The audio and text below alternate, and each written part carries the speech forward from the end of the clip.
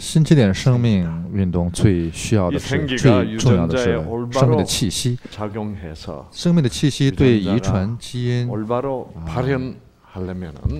能够激活我们的基因呢？需要建构生命的基础设施。我们已经上午讲过了，那么所有的条件呃，在呃，完美的和谐的。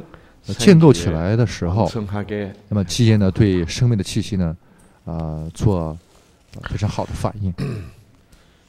可能的，但是呢，你们要知道，이유전자라는것은这个基因呢，알고보면은놀랍게도让人惊奇的是，它是让人可以让人破解的密码。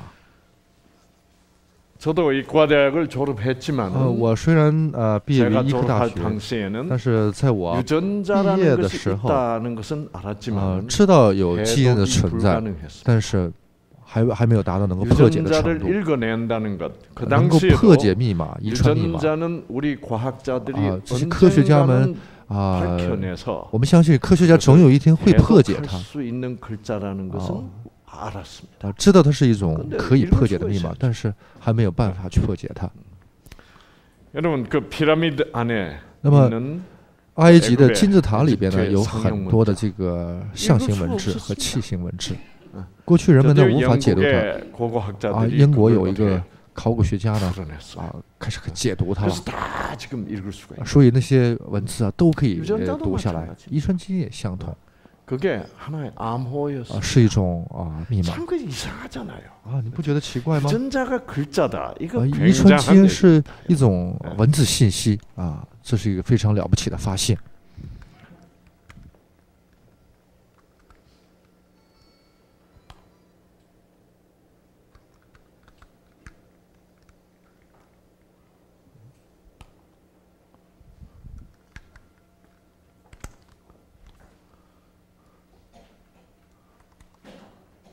자, 유전자가 어, 다시 약해. 글자다. 看，遗传基因是一种信息密码， 조립식으로 구성됐다. 是啊，我 여러분, 它的结构 글자라는 是 것이 조립이 되어 있습니다. 拼成的，是吧？ 그렇죠?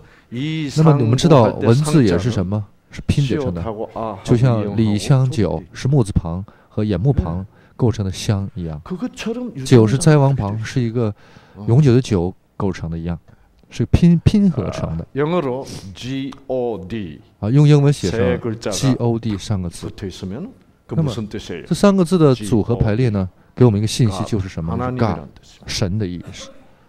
근데 이 那 글자는 把这个 꼭 组成 같은 G O 组 D 成字 이 母 세 的 글자라도 G O D 三个文字组合的 이 要 배열 素 순서가 重新进 달라지면 行排列，顺序 뭐가 变了， 달라져 버려요. 就变成什么了？ 뜻이 싹 달라. 意思就完全变了，是吧？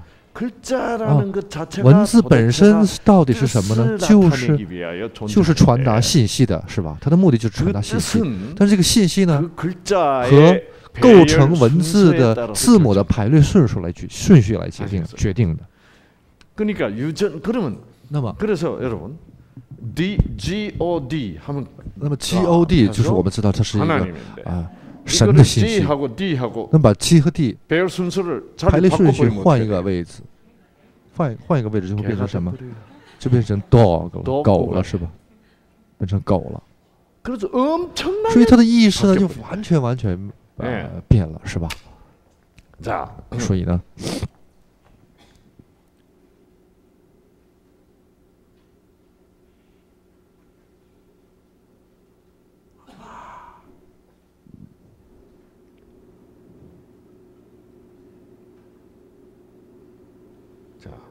再看后面的，呃，g。G o d d 哥，d。D o g 组成组成文字的要素没变，只是顺序变了，那么它的信息也变了，是吧？所以说啊这个排列很重要，是吧？因为字母的排列不同，它的信息就完全不同了。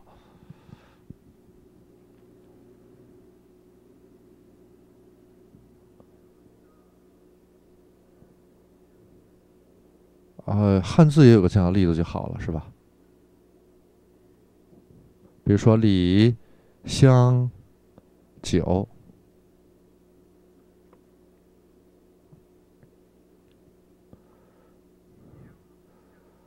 啊，那么韩文的这个字母啊，圆圈音和呃这个人字相反的话，就变成了啊音了，是吧？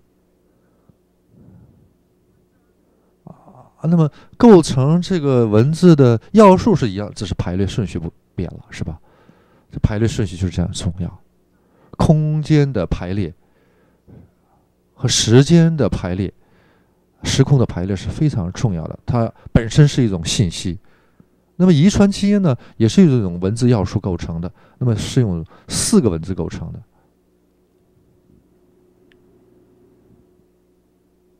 像昨天大家说啊啊看到的一样。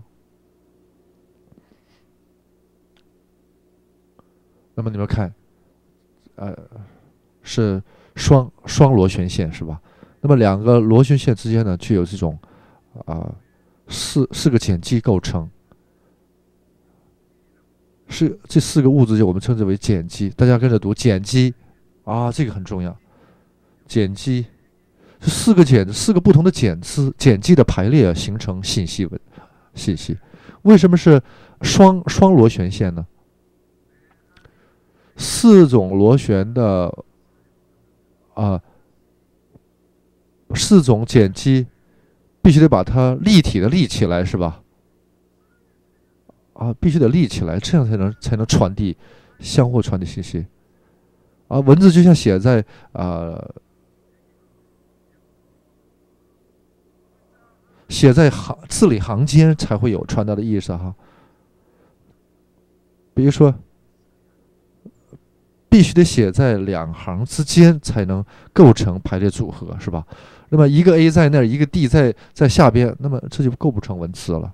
就像三点水水旁和呃呃泳字写在一块儿才是游泳的泳一样，所以这两种简两两个螺旋呃螺旋的这个线呢，啊就是就像呃写文字的行一样，那么中间的四个碱基呢就形成文字啊，那么起到文字作用的是下面的这个碱基，上面的是是像伴娘伴郎一样。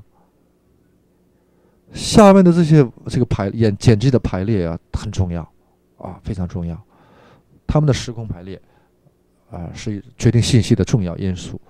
大家看，有四种碱基是吧？这是下面的这个线啊啊啊，我们称之为 A A T。大家上面的这个名称不用记了，叫 A、T、G 还有 C 四种碱基构成。这四种碱基怎么排列？它的排列如何？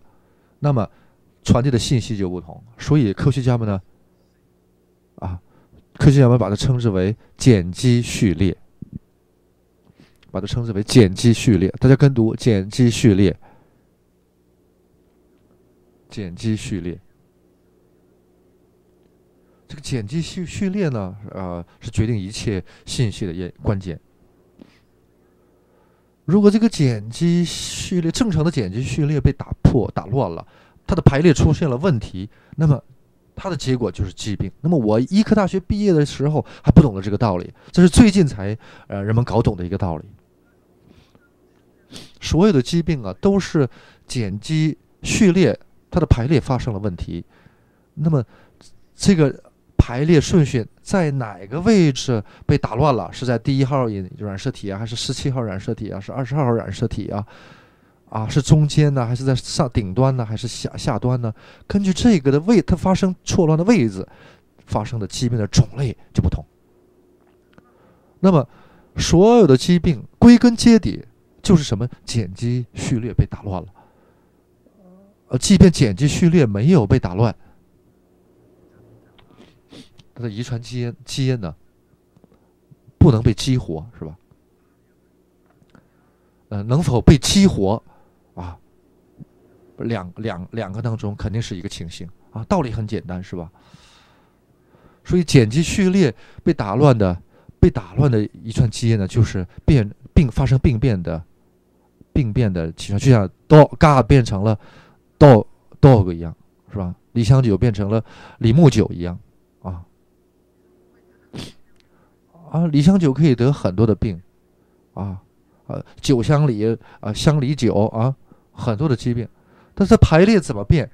它的排列呃怎么排列啊？表现的症状就不同，这道理就是这样，疾病的原因就在这儿。所以这个排列排列的顺序，我们称之为什么？碱基碱基序列是吧？碱基序列啊，这个很重要。你们懂得这个一句话呀，已经道破天机了！很多医生啊，很多医生在你们前可能是就哑口无言了啊。最近，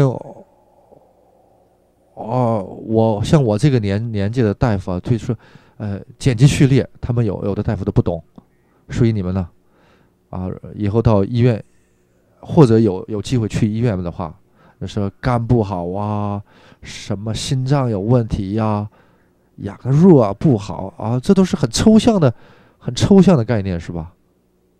没有个尺度，应该怎么说？所有的肝细胞的碱基序列处发生了问题，嗯，那大夫一下就紧张了，是吧？啊，哦，这行家来了，啊，你你怎么知道碱基序列？我研究了研究，啊，好，我们现在正在研究，是吧？啊，今后啊，你们医生啊就会不敢怠慢你们了，碱基序列一定要记住，嗯，碱基序列。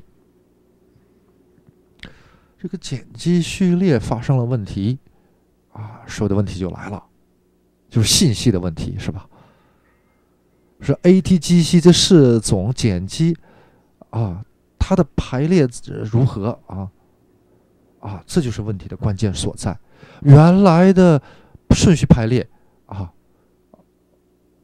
如果能够维持的话，那就是健康。那么正常细胞的碱基序列的排列，我们通过。正常人的细胞呢，我们已经可以把它全部解读下来。所以一有什么病的话，正常的细胞的也碱基序列和发生病变的碱基序列一进行对照啊，就得出答案了。所以就就找到了基因图谱，通过和正常人和病变细胞的对比啊，碱基序列的对比，我们就找出了致病的原因所在。那么现在呢？到了二十一世一世纪，科学家们终于啊明白了，人呢，人呢，不是肉体，不光是肉体，而是什么？而是各种信息的组合，是吧？ATGC 的这种这种遗传碱基序列的构成的文字的整合，啊，哪个哪个地方的碱基序列发生了？变化，那么这个变化就导致相应的疾病，道理很简单，是吧？明白了吗？所以，比如说这块儿这块儿的碱基序列发生了变化，可能是僵直性脊柱炎，啊，这儿发生变化了，可能是胰腺癌，这儿发生变化的话，可能是胃癌。啊，就是这个道理，道理就是这样。啊，让我们能够看到这些呃变化的病变的所在，就是什么？就是遗传基因的呃碱基序列和基因图谱。大家突然变得非常有学问了，是吧？我读大学的时候，连连啊门都没入了。啊，那么农科大学呢，有植物的这个遗传图谱，是吧？今天我看报纸啊，那么。袋鼠的遗传基因图谱已经搞出来了，老鼠已经搞好了，是吧？所以呢，经过经过基因检查，我们就可以知道什么地方啊出了问题，和正常的细胞进行对比以后呢，啊这儿的碱基序列发生了病变，啊这个遗传基因的功能是什么？啊那么它变质了，那么就会导致这样的疾病，啊就是道理就是这样啊。好，那么那么，所有的疾病呢，从本质上讲都是一样的，治病的原因是一样的，是吧？碱基序列的变化呀，从这个角度来看，不管它是胃癌、胰腺癌还是糖尿病，不管是什么疾病，所有的还是帕金森氏疾病，不管什么疾病，导致疾病的原因是一样的，都是碱基序列出了出现了问题。啊，有的人，呃，身患帕金森氏疾病是吧？我给大家看，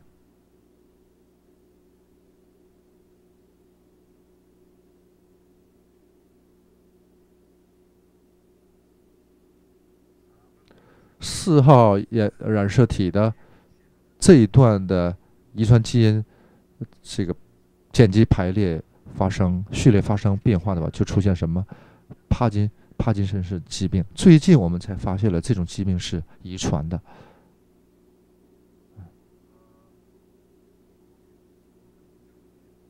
啊，我不知道具体是哪位哈。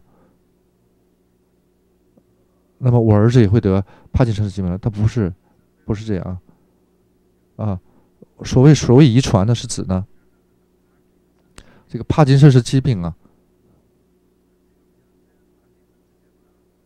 现在患有帕金森氏的疾病，比如说是六十五岁的话，六十岁的时候，啊，这个帕金森氏呃疾病出来了。那么三十岁的儿子不会有什么问题的，因为三十岁的时候呢，遗传基因的碱基序列呢还没有发生变质，啊啊，那么那个时候你的你的儿子呢，啊还没有呃。被遗传上这个发生发生病变的呃间接序列，所以癌症也一样。如果母亲是呃被诊断为乳腺癌，那么母亲现在的年龄是啊四十二岁。那么，比如说十年前呃已经患上了啊遗传基因开始发生病变了，那么三十二岁呢遗传基因开始发生病变，那么最后。呃，三十岁的最后一次出产生产的孩子的话，那么这个孩子是不会有问题的。如果这个孩子是三三岁时候生的，那么说不定会有问题，是吧？所以正常的遗传基因和发生病变的遗传基因啊，所以女性啊，就说高龄或者是父亲呃高龄呃生孩子的话。啊，出生畸形儿的可能性就高啊，就是这样。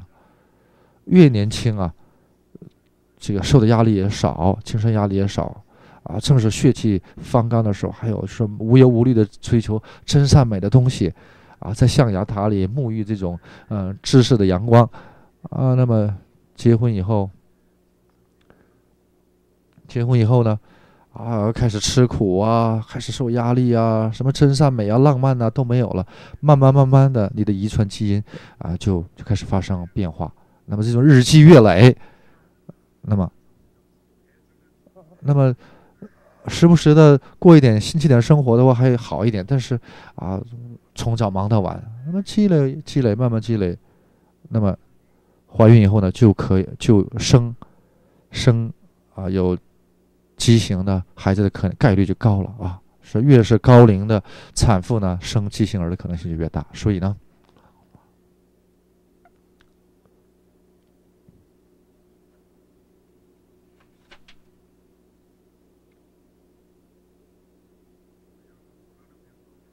还有很多我们还不知道姓名啊名字的疾病是吧？还有糖尿病。那么遗传基因呢？遗传基因呢已经被科学家们全部都给破解了，是吧？所有的密码都被啊破译了。那么，所以呢，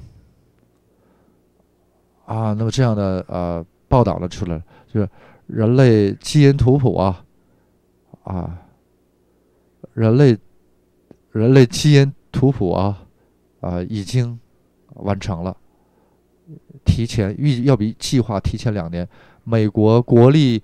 呃，人类基因研究所呢，在记者招待会上说，啊，遗传基因图谱比预计要提前两年，呃，完成。当时只有神才能看到的生命的设计图纸呢，人类也可以怎么样？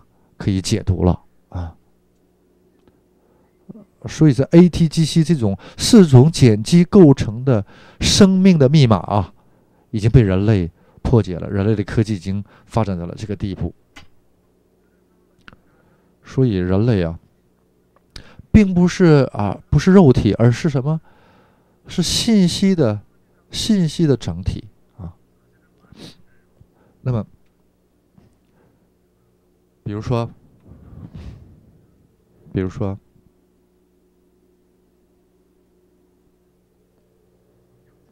比如说，这是一本圣经。那么这本圣经呢，我们称之为什么？一一块什么？呃，一块一块纸哈。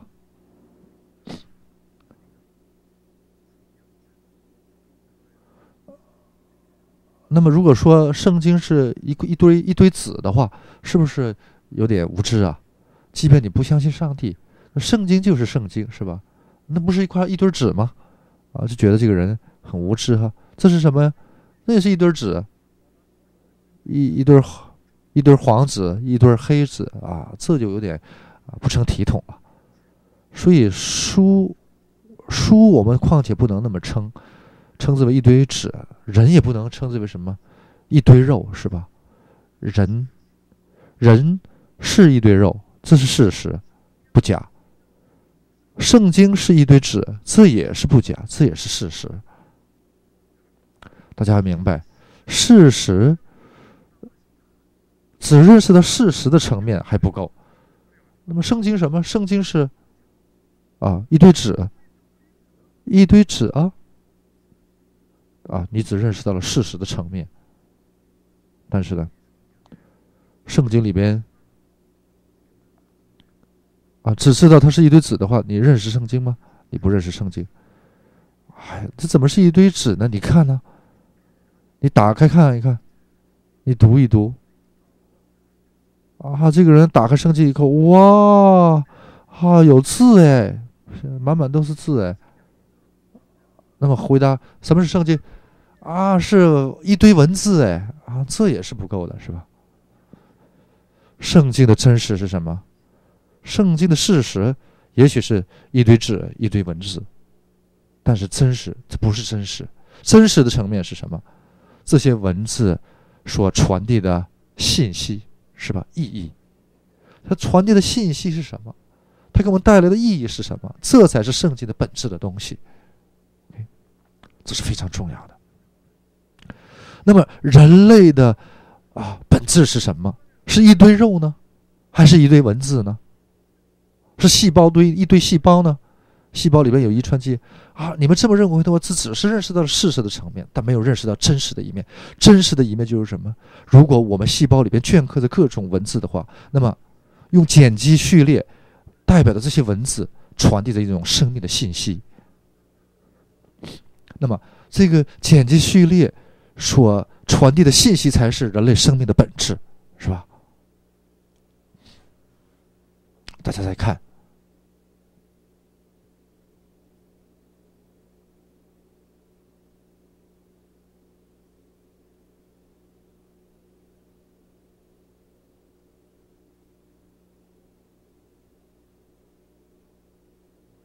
这是什么？这不是杂草吗？一堆杂草。还有石头，石头啊，只只能看到这个层面的话，他说的是不假，但是只能看到这一面的话，那就好像有点缺点什么了，是吧？你们人生不能过得这么呃，缺点缺什么似的，是吧？是啊，真漂亮啊！啊，能能够观察到这个现象啊，能够拍摄下他的这个眼睛，就是可以发现美的一双眼睛，是吧？啊就是审美的目光，是我们的这个呃导播赵赵先生播拍的，是吧？大家看，美啊啊，能够发现那里的美，这才是它的真实，是吧？啊，杂草和石头，它不是真实，它只是事实。所以你们的人生啊。啊，只看到事实的层面，那么人生就没什么意义了，是吧？没什么活头啊，除了吃喝拉撒，还有什么？还有什么？是吧？真实不是这样的，真实和事实是两个层面，是不同的层面。哎呀，倒霉啊！身患癌症，这是事实还是真实？这事实，这的确不假，确确实倒霉。但是，就此打住，那就糟糕了。那么，得我身患癌症，到底意味着什么？要了解它，懂不懂？这才是重要的，这才不冤枉。明白了这个理儿，才不会不是不会冤枉，是吧？如果我没有得癌症的话，我会来到这里吗？绝对不可能了，是吧？啊，我哪有机会坐在这里明白这样伟大的真理呢？啊！所以呢，是是新生命起点运动啊，做到家的人会做什么？说，就说啊，得癌症真是啊，值得。如果我如果我不得癌症的话。啊，那么人活四十，啊，只是吃西啊尝了一下西瓜的皮，却不知它里边有更好吃、更甜美的东西，是吧？所以人生就像呃舔点西瓜皮，然后就这样呃呃走的人很多。所以说，人生这个西就像是个西瓜的话，要把它切开，要尝到里面的东西啊，好甜呐，是吧？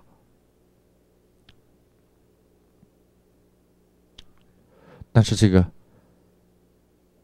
啊，我们的逆境、我们的痛苦、我们的疾病里边，它有生命的本质的东西啊，你们要体尝到它。哇哇！如果没得癌症的，我哪有机会啊？你们要达到这个境境地啊！哇！我们再看，是一个呃是呃是一个可能相对极端的例子。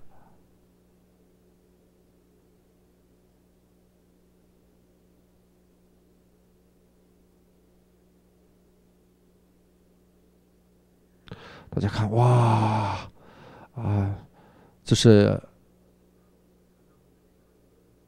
瀑布啊。那么韩国人所说的瀑布啊，啊啊，从这到这儿啊，很小，呃，十米也叫瀑布，是吧？那么这个瀑布啊，有多高呢？你们看下面的这个大坝。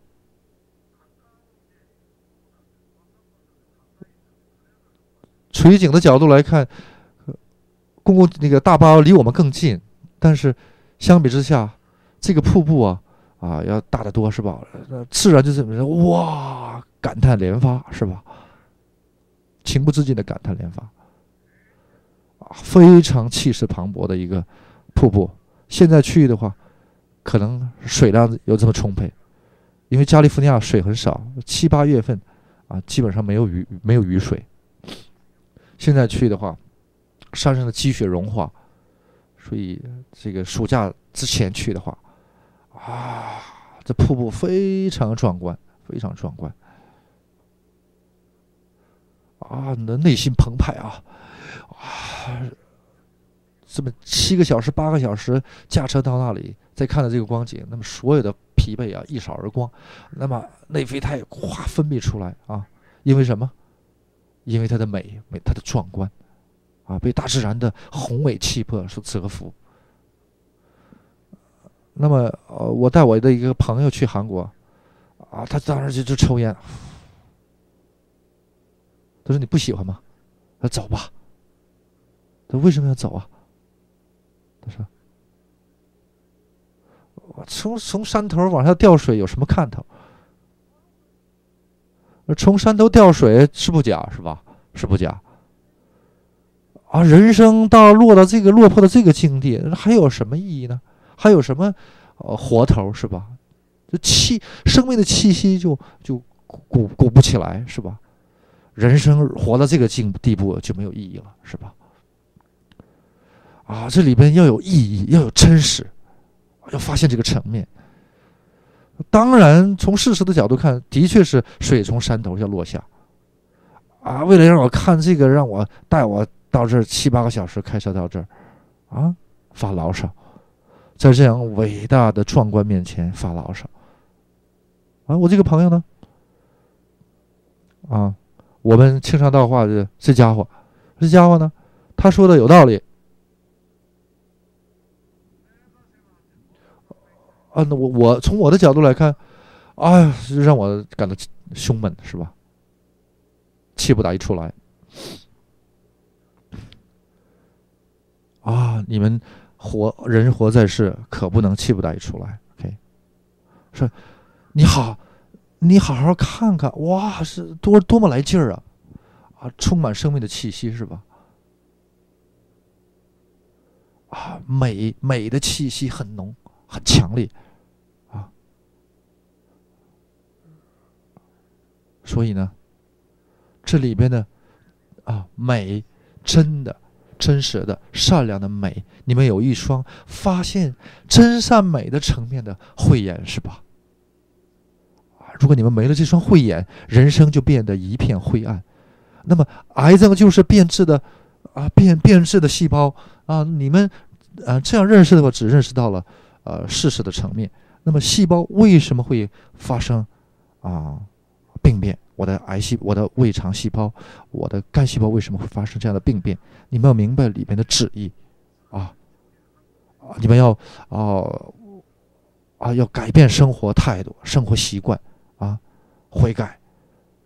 那么我的人生啊，发现人生的美，啊，才会真正的啊明白人生有多么的美，啊啊，八十二期学员当中啊。有一位空军大尉出身，他来到这里说什么呢？他说医生说：“你最多也就活三个月到六个月啊啊，最多也就活三到六个月，然后做后事准备吧。”所以，我我就想啊，我知道了啊，我我我就是现在死，我也我也死而无憾，是吧？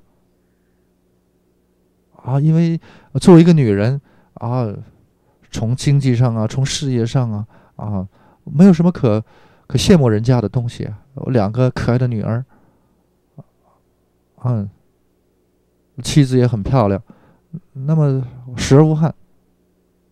啊，他就想，啊，有我这样人生帅气的人出来看看。所以他在空军服役的时候呢，他是开飞机的，开战斗机的，是吧？那么战斗机。呃，凌云直上的时候呢，啊，好好酷，是吧？啊，所以说人他的人生十分啊，十分满足，是吧？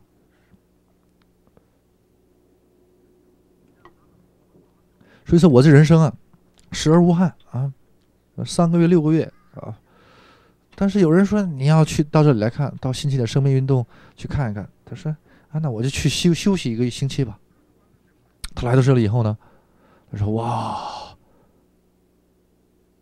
他说，他说没有看到人生的真实的一面，啊，只是看到了人生呃人生的表面的东西。就说啊，说飞机飞机驾驶员啊多酷啊，啊，只是活了其表不知其里。”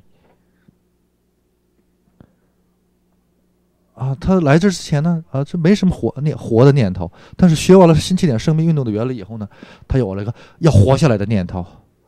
如果不认识到生命的这个真实的面貌啊，只是知知其表不知其里的啊这种啊肤浅的生活，那么人生太冤枉了，是吧？所以他就产生了一种我要活下来的念头，产生了新的生命的念想，人生的目标。这对你们恢复健康是十分重要的。那么病好了又干什么呢？病好了也是天天下象棋啊，那么就没有什么康复的动机是吧？人生的目标，那么一天一天还是得过且过，做一天和尚撞撞一天钟啊！我的生命是这样这样的有意义的啊啊啊！那么我有个体面的职业，收入也不错，儿女也很幸福。那么现在我人生活到现在也算够本了啊！如果你们这样想的话，这只是尝到了人生的皮毛，是吧？就像你们看到这个瀑布以后呢，啊，就说没有发现它的真实的美，是吧？就是还没有尝到人生的真滋味。那么人人生不就是这样吗？啊，那么该走就走了，啊，撒把走了，比我早走的人还多呢，是吧？如果你们这样想的，用统计式的方式去思考你们的人生的话，人生就变得没有意义了，啊，大家都这样，那我也随波逐流，啊，这样的想法是非常危险的。我生在这个世界，那么我是独一无二的存在，我为什么要生在这个世界？啊，肯定是有上天的旨意啊！你没有明白这个东西，明白人生当中的真实的层面。认识他以后，你们的人生呢，就就变得呃丰富多彩，有另一个世界展现在你们的面前。所以你们要了解真实的、真实的意义，不是事实的层面，而是真实的层面。所以呢，我们讲讲真实的东西。如果我们的身身体啊是只是只是一堆肉的话，啊，那么我。我们认识到了，啊，这些文字到底在传递一种什么样的真实呢？我们，我们才会真正的了解我们自身，啊，从从一个崭新的角度啊认识自己。呃，迄今为止，我们认为我们我们认为我们自身呢，只是一个，只是一堆肉，是吧？但是你们从生命的角度去认识你们自身以后呢，你们的生命价值就会重新彰显出来。你们看，这里有本书。啊，我们的这个于先生啊，写了一本诗集，啊，大家看，这个诗集的价值啊，这里收集的所有的诗呢，诗所传达的意义，它的诗意才是它的价值所在。就是啊，这个诗真是很美啊。啊确实有意义，所以这个是价价值就会升高。哎，什么什么乱七八糟的，扔了吧。这个书的价值取决于什么？取决于它的意义，是吧？它的它的信息，它不是一堆纸吗？这一堆纸能值多钱？啊，那么它的旨意呢？它的信息呢？决定它的价值。人类的价值取决于什么？就是。一个人里边所拥有的信息，他的志向是吧？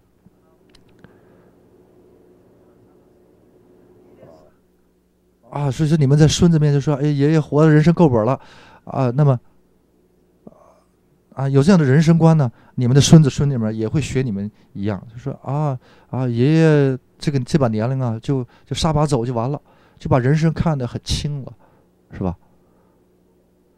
还有呢，那些得癌症的人呢，都变得很抑郁，也没有什么希望，是吧？啊，也不能，也不再努力，就破罐子破摔，啊。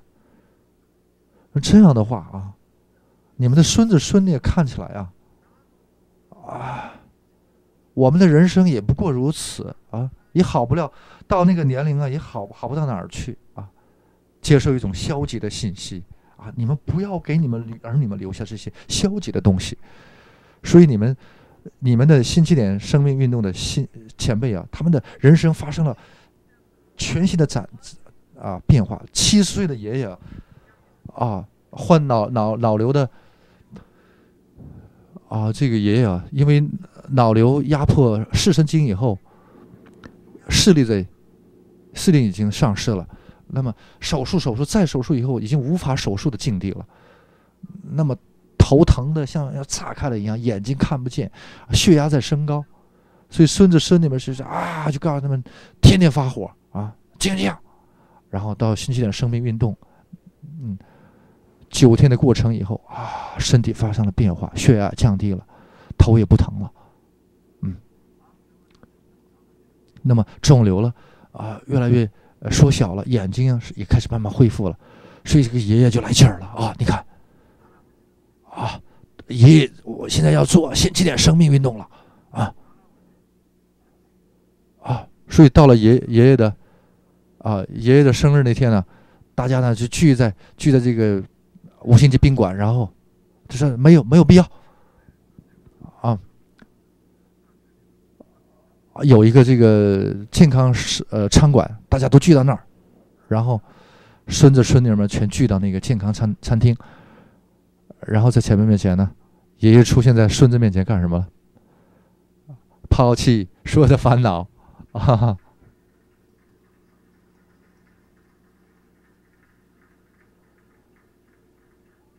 孙子孙女们，我说爷爷是不是脑子有病啊？哈哈，啊，是不是？呃，是不是疼？爷爷，你到底怎么了？啊，爷爷是不是不正常？不是，爷爷很正常。啊，我过去向你们发火发脾气。但是我知道我错了，以后呢，我要过更加健康、更加幸福的生活。我的脑瘤呢，啊，也会好的，啊，我的遗传基因呢，可以重新恢复的。啊，这过什么样的生活呢？像爷爷这样生活的话，所以今天的饭店呢，我也选了健康饭店，尽管可能不合你们的口味，但是你们要好好吃。然后呢？啊，健康食以后啊，有什么牛排他不爱吃，爷爷就吃的很香，啊，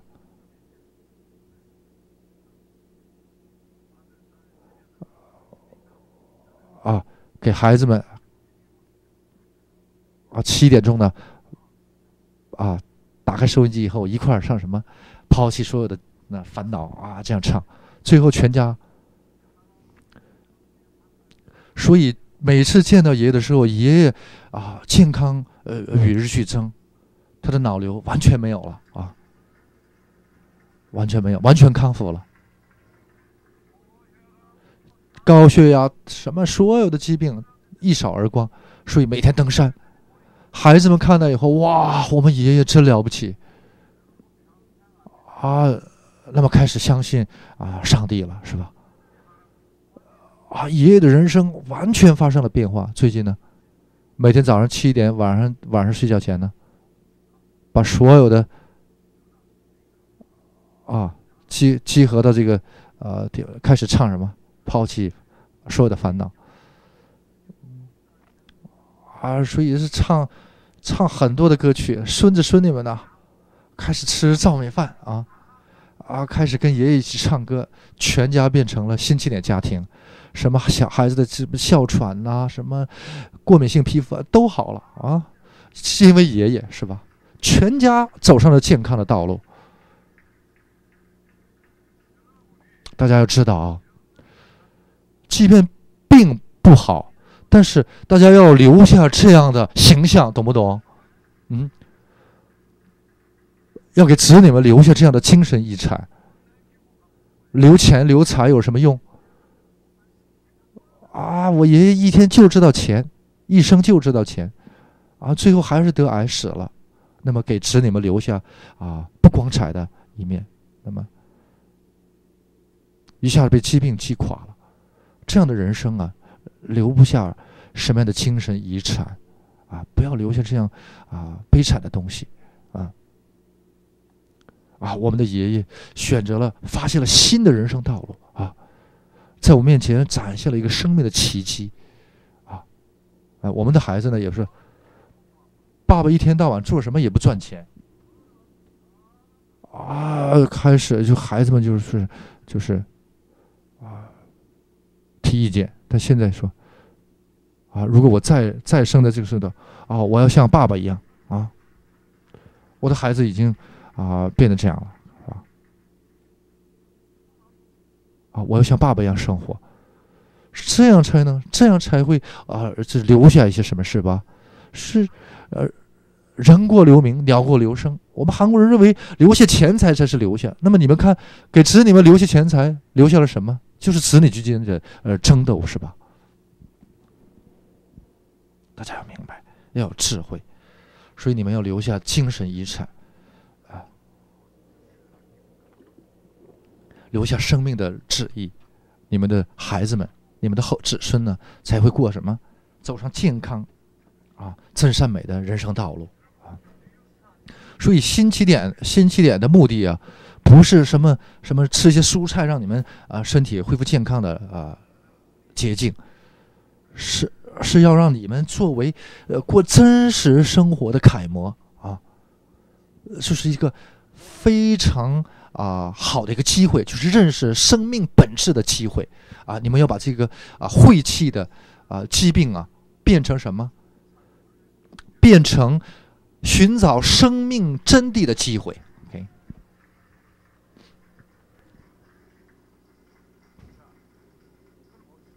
那么大家看啊，我们找一找遗传基因的真实是什么呢？它所传递的信息是什么呢？啊，的确是信息文字是吧？啊，有句法，啊，有排列顺序都有。从哪儿是哪儿是一段，啊，从哪儿读，从哪儿起句，从哪儿啊段文章，啊，这一切都是有章法的。科学家们已经搞懂了这一切。那么是谁把这些啊，把这些生命的信息啊镌刻到人的细胞里呢？那些像，但是科学家们迄今为止呢，就是啊，到到一九一九八零年代八十年代才开始解读它。那么我们称之为人类基因啊解读程序是吧？解读工程。那么这个文字啊，是偶然形成的呢，还是有谁缔造的呢？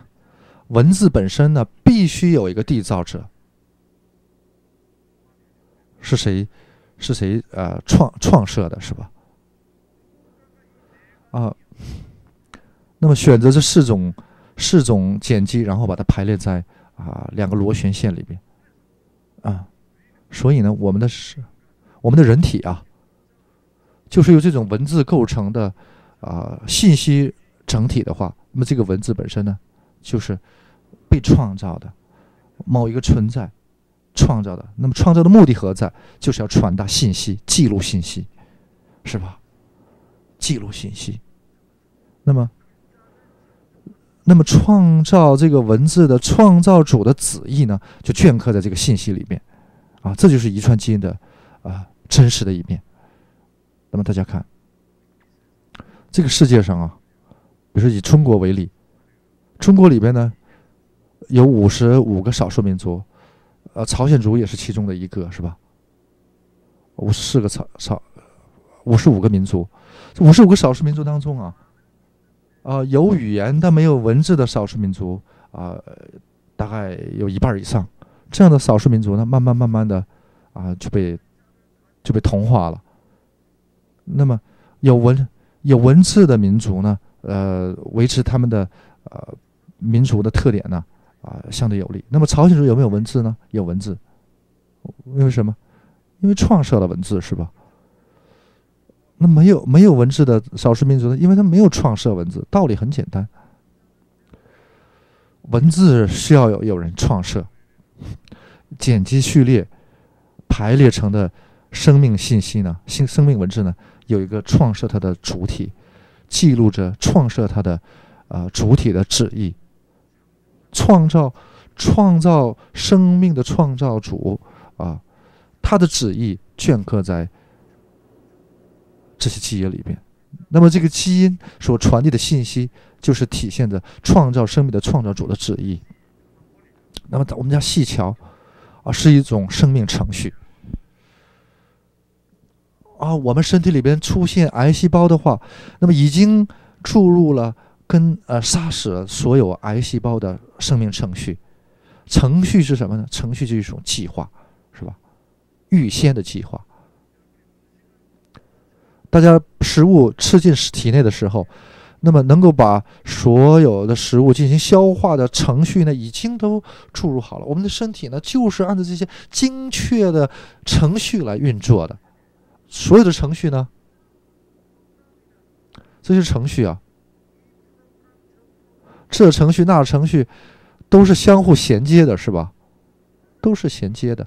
不衔接的话，啊，那么这些程序都是各自运作的。运作的话，那就不会起作用的，要同时设计出来，而且相互衔接、相互运作、相互整合的这么一个整体的生命程序，是吧？是吧？这是非常了不起的。消化的同时，癌细胞要杀死啊，呼吸要同时进行，血液要循环，都是相互相成的关系。所以它不是不是偶然偶发的程序啊。我们啊，如果是要有谁来编程的话，比如说搞一个什么活动，那么要要计划是吧？那么，在搞计划以前呢，对这个整个活动从头至尾可能发生的、可能发生的事事件的所有的呃细节，都能够事先高瞻远瞩的人才能编程。所以，我们的人体也不是这样一步一步整进化来的，而是有一个创造生命的创造主呢。用高瞻远瞩的眼光，已经把生命体的所有现象，啊，都前瞻以后，然后进行了完美的编程，啊，完美的辩证，这样生命才会得以维持，是吧？大家看啊，我们的人呢，看看我们的脑细胞，脑细胞生产什么？生产神经传导物质，是吧？最最有名的就是什么？是不是内啡肽 （serotonin）？就是盐酸多巴胺、盐酸多巴胺还有血清素啊，这些著名、这些非常对人体有益的啊神经传导物质，是让我们感到幸福的物质，是吧？那么这些物质呢，在我们脑细胞里创造生命的创造主呢，已经已经编好了让我们幸福的程序，是吧？明白了吗？啊那么，啊，那么，啊，内啡肽，还有血清素，还有盐酸多巴胺。如果你睡不睡不着觉的话，啊，那么就人生就变得，呃，很痛苦。那么让人，让人够能够熟睡的物质是 melatonin，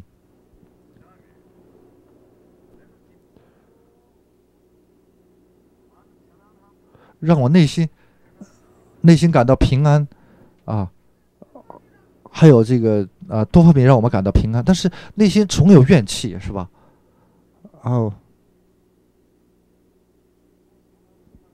啊，我们车，我们车是二手的车，人家车是什么奔驰车？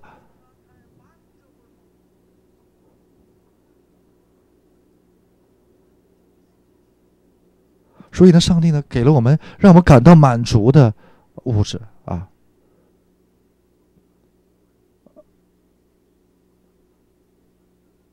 即便我们的车是呃二手车，但是啊，那么大奔也一点都不让我羡慕。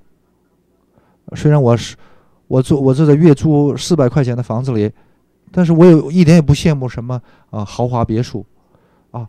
让我们感到满足的物质就是西西 K 的物质。这个物质被科学家们发现出来。这西西 K 的物质呢，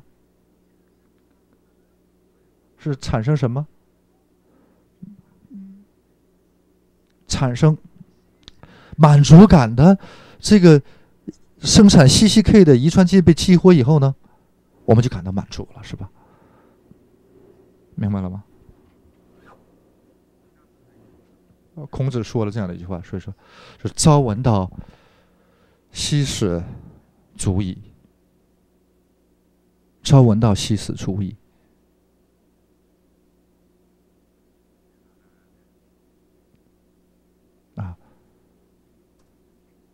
就说真正的明白了道，明白了生命的真谛，那么死而无无憾。啊，明白了这个生命的真实，啊，那个真实就是一种生命的气息，啊，是真善美的东西。当我们明白了生命的气息，肯定会满足的，有一种满足感，是吧？啊，所以我啊，坦白的讲啊，啊，我在美国是一个很体面的大夫，是吧？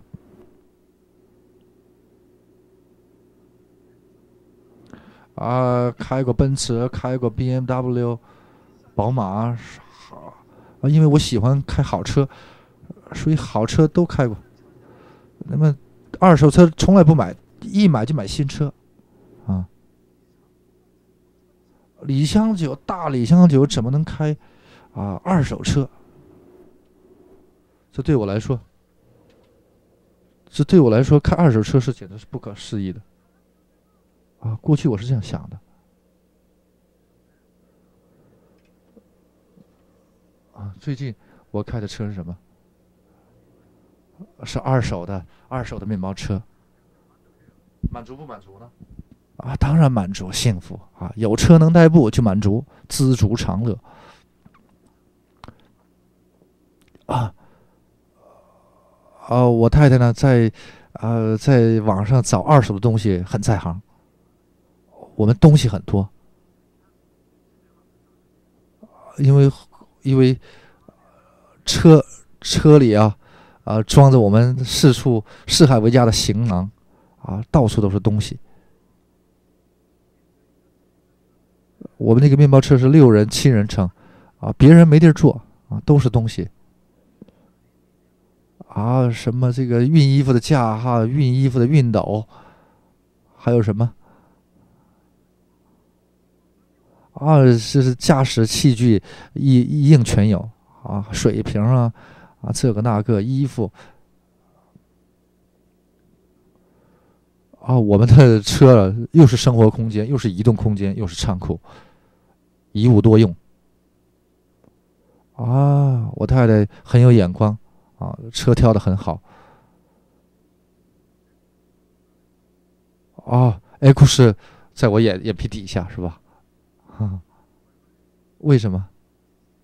因为我我的体内有 CCK 分泌出来，CCK 分泌 CCK 的遗传基因被激活了。为什么？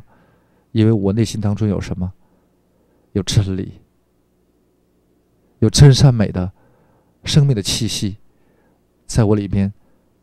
啊，二手的面包车也会让我感到满足，是吧？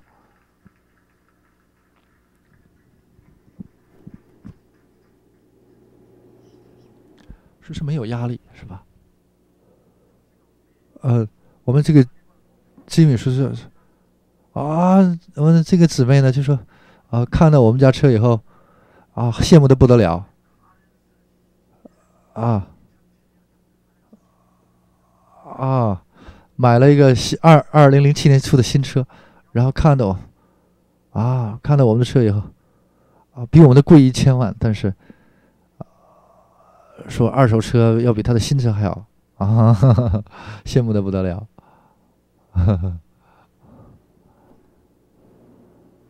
所以我们呢，那么在被造的时候已经被注入了幸福的这道程序，那么这道幸福的程序被激活呢，那么啊，那么我们身体呃就会变得很健康，所有的程序已经已经编好了。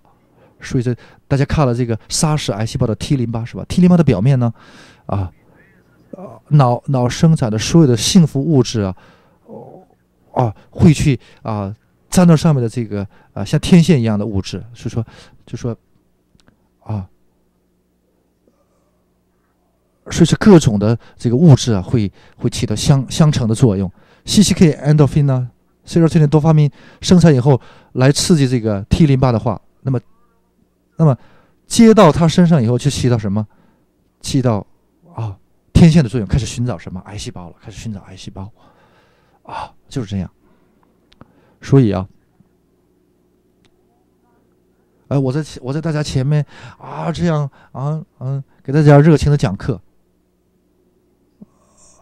让大家明让大家明白真善美的东西，大家呢？你们的幸福的幸福的程序呢？希望被它激活啊！希望能分泌出让你们感到幸福的物质的话，你们的 T 淋巴啊就会被啊被激活，然后去杀死你们身体里面的癌细胞。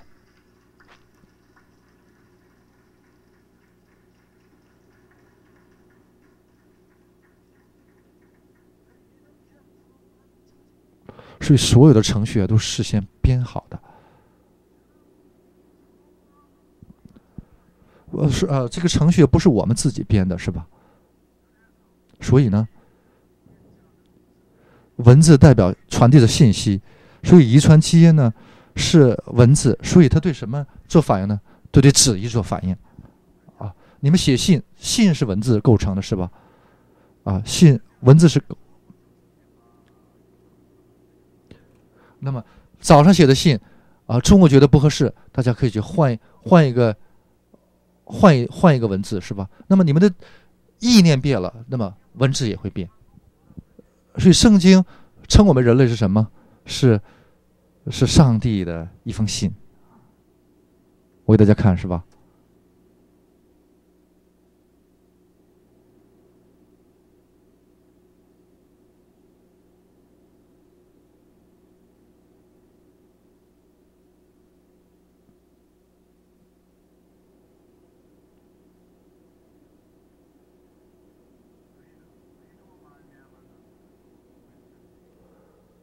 格林多后书三章三节，是吧？你们明显是基督的信，就是一封信，记着我们修成的，不是用墨写的，乃是用永生上帝的灵写的，不是写在石板上，乃是写在新板上啊。啊，就说写写在我们的新板上的。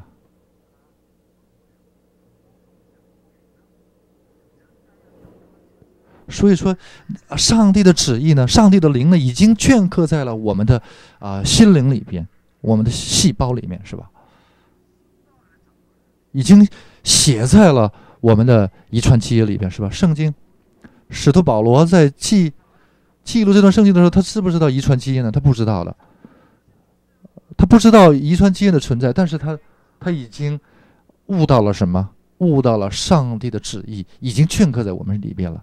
他已经悟到了，啊，因为他里边感悟到了上帝的这个这份旨意，所以我们我们变得不幸，变得气馁，变得没有生命的气息的话，我们的生命的电压就会降低，那么那些使我们感到幸福的物质就不会分泌出来，总是变得啊不幸、不安、没有喜悦啊悲哀，成天抱怨啊啊睡眠也不好。那么这样压力压力就越来越大，啊，那么就容易发脾气发火，而这样的话，啊，那么自由基就大量的产生，然后破坏我们的遗传基因，是吧？呃，为了防止这些现象的发生呢，我们要追求真善美的东西，让我们明白真理，让我们感谢感恩，啊，赞美啊美丽的东西啊，让我们感到幸福啊。所以每当春天到来，大家感到幸福吗？啊，看到满山遍野的啊鲜花，啊，看到这个生命的绿色啊，大家感到啊心情舒畅，是吧？啊，松树黯然四射，是吧？这些新绿啊，油绿油绿的嫩叶呀，啊啊，让人们感到一种生命的气息啊！大家哇赞叹不已的时候，啊，对美的事物做反应的时候。啊，春天到了，啊，又是春天了，春天花就开呗，和我有什么相关？这样生活的就没有意义了，是吧？啊，在石缝当中冒出的一朵野花啊，那些呃蔷薇啊，还有那些蒲公英啊，是都是有一个生命的主宰啊，给他们注入了生命的程序，让他们花的颜色、花的大小，所有的设计都不同，是吧？已经这个种子里面已经记录了所有的生命的程序，是吧？不是任意而来的。那么科学家已经发现了这个道理，所以蒲公英能够长成这个样啊啊，樱花能够长成这样，所有的里边啊都是什么？它们开花，它们结果，都是在彰显什么？彰显创造他们的生命创造主的旨意，是吧？所以呢？如果大家不懂这这个生命的旨意啊，这不就是樱花吗？啊，开开看什么？花落满地还得少。如果大家这样去活活人生、过人生的话，那这个人生只是停留在事实的层面，就没有意义了。哎呀，还得少多累呀！花开有什么用？啊，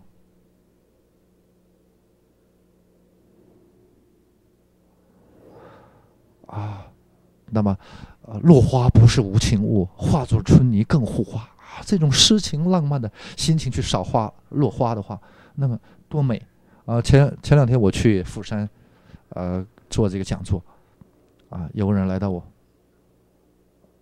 来到我面前说啊，我开一家饭店，请你务必来观光。那么这家饭店呢，在在在山里边，在这个溪谷的最深处啊，有一家饭店。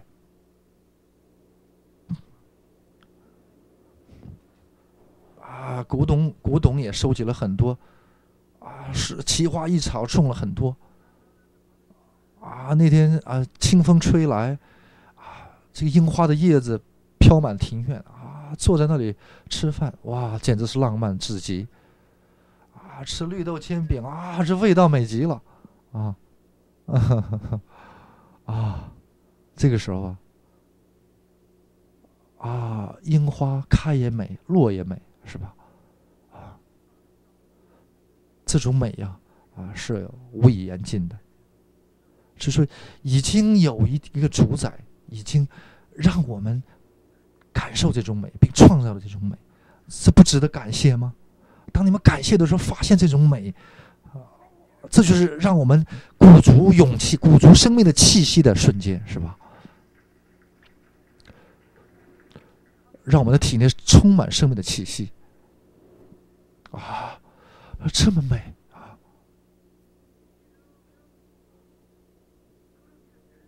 这样的时候，我们的遗传基因呢被激活了，开始是吧？然后，啊，所有的程序呢，啊，已经编好了。那么这些程序，那么我们今天来就是要发现这个理儿，然后按照这个生命的程序，这个编好的程序来生活，是吧？如果如果行不通的话，为什么？为什么不能按这个程序来生活？为什么掌声响不起来？为什么欢呼不起来？为什么？哎，这这这轻浮啊！被一种这种矜持的态度所压抑着，这就是一种什么抹不开的东西，矜持。啊，这种矜持的东西，啊，抹不开的东西，啊，你们在治病的过程当中，最大的一个敌人就是什么？这抹不开的心态，啊，和矜持作斗。你们被这个矜持的态度所压抑，啊，抹不开的这种心理压抑的话，那么你们的病就没得好。啊，你们由于啊矜持抹不开，所以啊。有得了很多的病，哎，抹不开啊，难为情，啊，啊，啊，人家会怎么看我是吧？啊，啊，成了奴隶是吧？啊，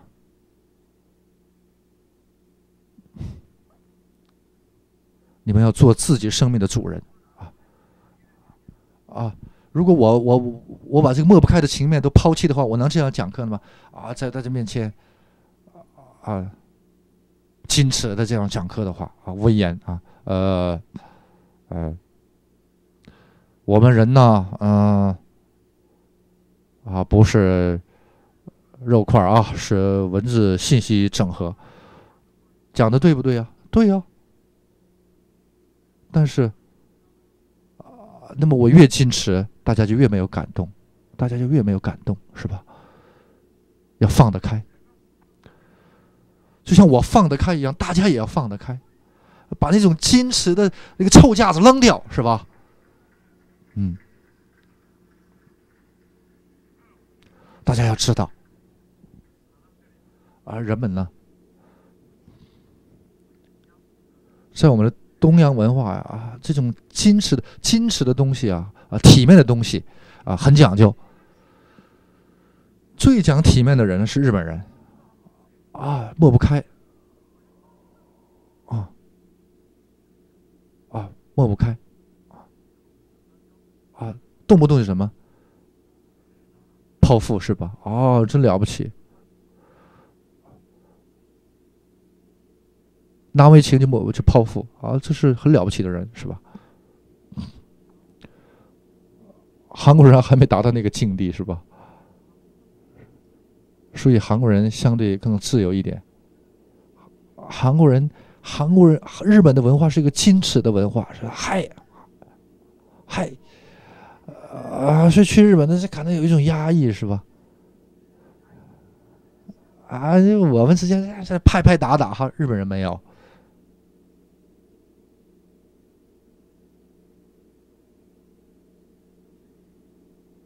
所以你们要战胜这种矜持的态度。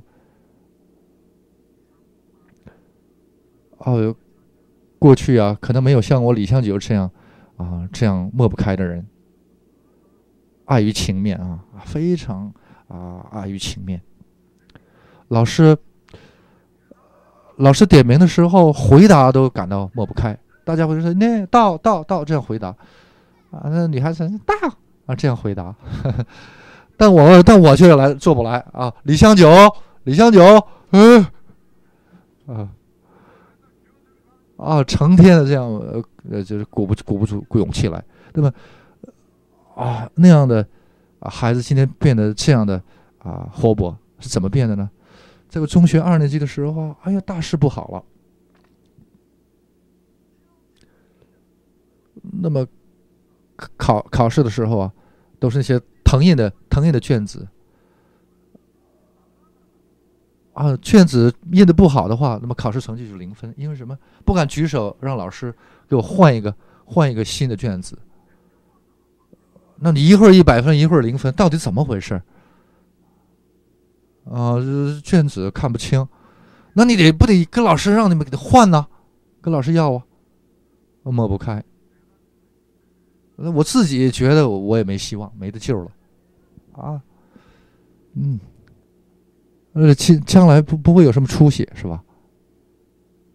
所以有一天，老师啊，啊，啊，我下了个决心，我要，我要跟我这个抹不开的心里作斗。以前我我脸上没有笑容，老师说开一句玩笑，大家都笑，但是我我却笑不起来，大家哈哈哈哈放声大笑，我就嘴角这样。我以为他动一下就 就就完了，所以啊，所以我羡慕大家呃的笑声，所以我回家就下决心要开始做笑的练习。下决心回到家里以后呢，关上房门，拉上窗帘啊，锁上房门，怕有人进来，因为自己都觉得抹不开。所以我觉得别人没有人看我，我就我就会，呃，放得开。所以拿着镜子开始就对着镜子笑，啊，勉强做笑啊，做不来，为什么？啊，没有人看我，但是还是抹不开。哎呀，好奇怪呀！没人看我，怎么还抹不开呢？谁，放，呃，这左右什么人都没有，但是为什么不开？啊，抹不开的东西，这个就是。就是我自己抹不开我自己。第二是我一要笑的话，这里边又有个家伙起来，嘿嘿嘿，开始取笑我，啊！当时我悟到了一个非常大的真理，悟到了什么？哦，我李香九不是一个李香九，有一个要笑的李香九，还有个什么？还有个不让我笑的另一个李香九。嘲笑呃强作欢颜的李香九的另一个李香九啊啊！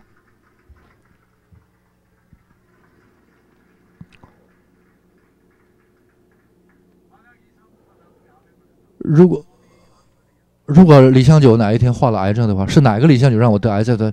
就在理由里边，哎，这样嘲笑我的李香九让我得了癌症啊！那个家伙不是真实的你们，是。周围的视线，视线强加给你的你另另一个虚假的你，啊，从小从小大人就这样灌输你们是吧？朋友们、家长们、老师，这个社会周围的人，整个世界灌输给你的一个虚假的你，虚假的虚妄的你，不是真的。真正的你呢，却想要笑，要要想活，被这个虚妄的我说蒙蔽，说压抑，啊啊是不行的，是要恢复真我。这个新起点生命运动啊，就是恢复真我的道路啊。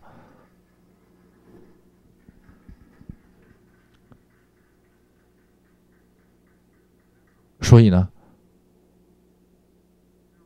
大家要知道，我们这位呃太太呢，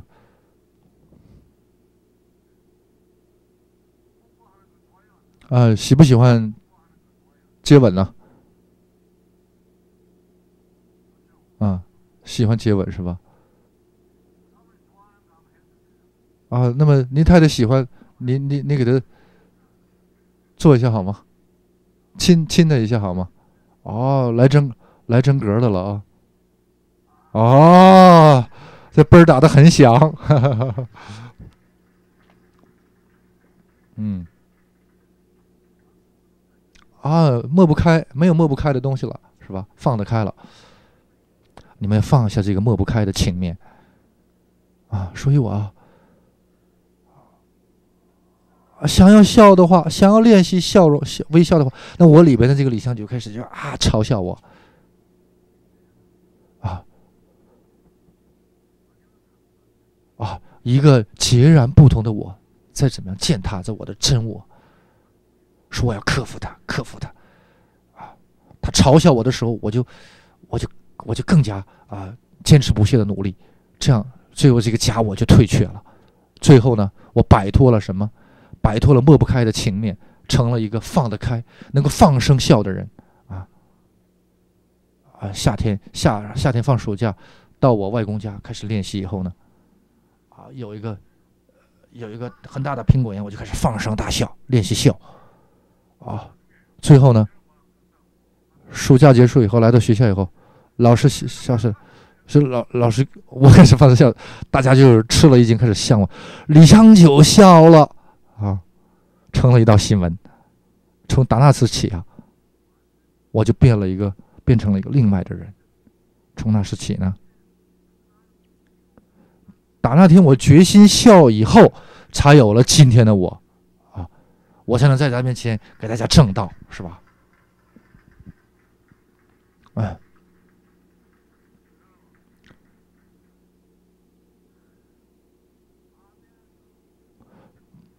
啊，我们要要从癌症解放出来，首先要从抹不开的情面当中解放出来，要放得放得放得开。但是这些人呢，这个坚持的态度，抹不开的情面，就是放不下。你们要放下它，要从这儿下手啊。比如说着火了，比如说，呃，公寓的三四楼。着火了，然后，然后三楼、四楼的人呢，让他跳下来。有个有个女的说跳不下来，她说什么？她说我我现在只穿着内裤，我跳不下来。嗯，不跳的话，死死定了。不跳的话，体面能维持，但是死了死了也就没什么体面可谈了。问题是什么？非常重要的问题，严重的问题发生。死也不是，你们内裤也得着是吧？也得被烧着，所以穿着内裤啊，放得下要往下跳，这才是活路。嗯，所以你们房间里啊，四人室的，你们大家今天回去以后啊，啊议论，大家商量以后呢，要放得开，开始在家里房间里什么？我们来大家一起什么？啊，唱星期点歌，开始练习，做什么？做放得下的练习啊！这不是一朝一夕能做得到的，啊啊！这不是像说的这样简单的事情。虽然不需要花钱，但是需要大家的毅力、意志啊！要和过去的你啊做做斗争，是吧？啊，就是抹不开，啊，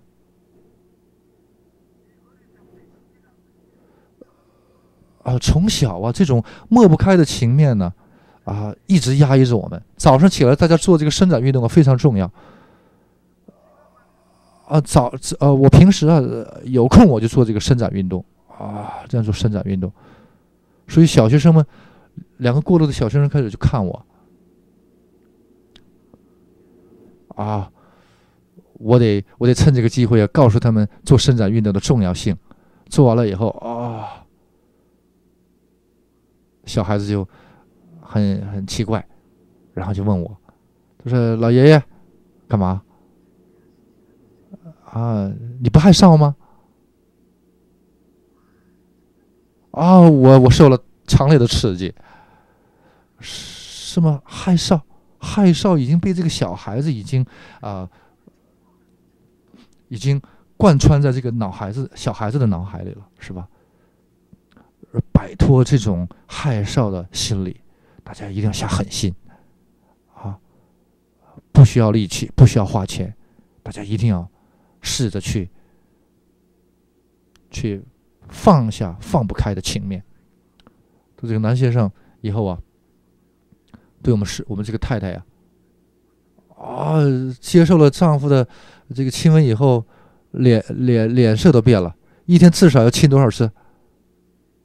早上起了一次，晚上睡觉前一次，啊，白天三次，一天最少得亲几次？亲五次，啊，这样的话，我们这个先生的幸福程序就被激活了，T 淋巴就强了，癌细胞就死就被杀死了，懂吗？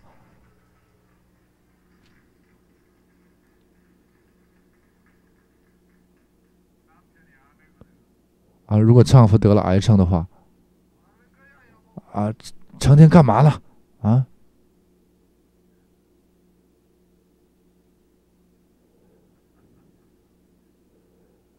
矜持、固执，这样的话，啊，身体就没得好。在这个，在这个与病魔搏斗的期间呢，大家要要战胜这个假我。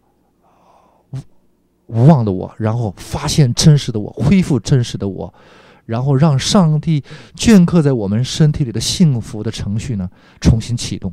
正是这些矜持的心理、抹不开的心理、害臊的心理，阻碍着这种幸福程序被启动。所以大家呢要放得开，要积极向上，然后激活大家身体内已经镌刻好的幸福程序啊，重新找到幸福的生活。